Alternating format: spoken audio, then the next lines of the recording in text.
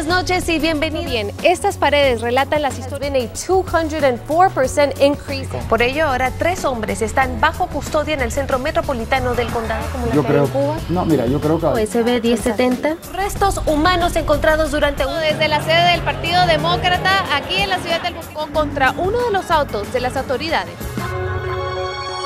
Noticias Univisión Nuevo México, solo a las 10.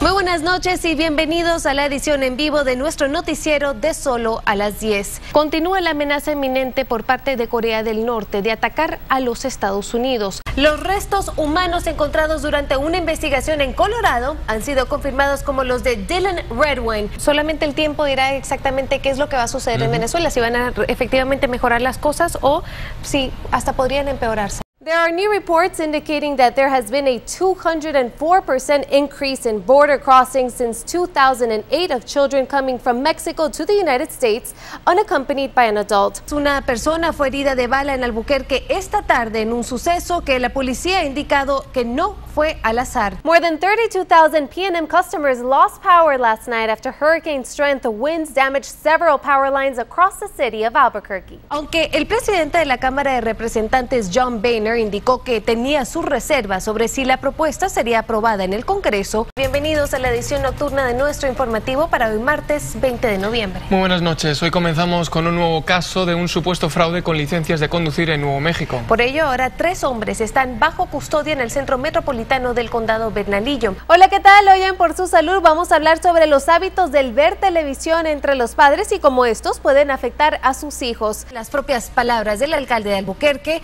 APD está demostrando que están convirtiendo a esta en una mala ciudad para ser un criminal. Durante las elecciones del año pasado, la gobernadora Susana Martínez negó rotundamente que tuviera aspiraciones de abandonar Nuevo México para irse a Washington. Parece que su partido aún no se ha olvidado de ella. Según un estudio realizado en la Universidad de Harvard, la aspirina puede ayudar a prevenir el cáncer de colon entre las mujeres. Sin embargo, esto también podría tener serios efectos secundarios. En nuestro segmento de Para ti Mujer se los informo.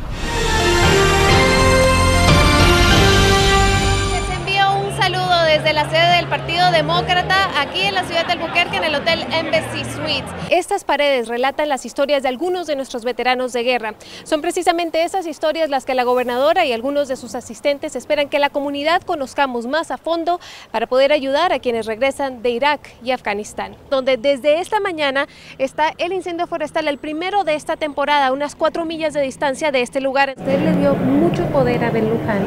¿Es eso cierto? Ben Luján me dio mucho poder a mí. Lo que hay en Cuba es una tiranía. Eh, lo que hay en Cuba es una, no hay elecciones en Cuba. ¿Apoyas la ley del Senado SB 1070? I did because the Arizona ¿Por qué deben los hispanos votar por Mitt Romney?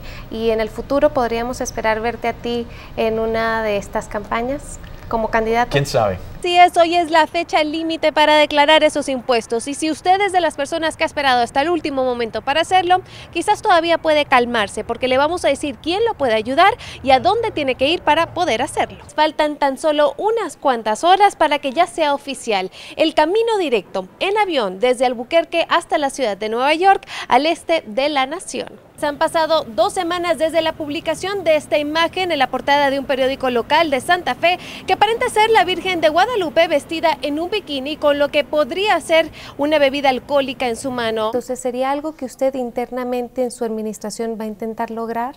Absolutamente, pero no, no. Estas son las señales que demuestran el momento en el que ese conductor se chocó contra uno de los autos de las autoridades.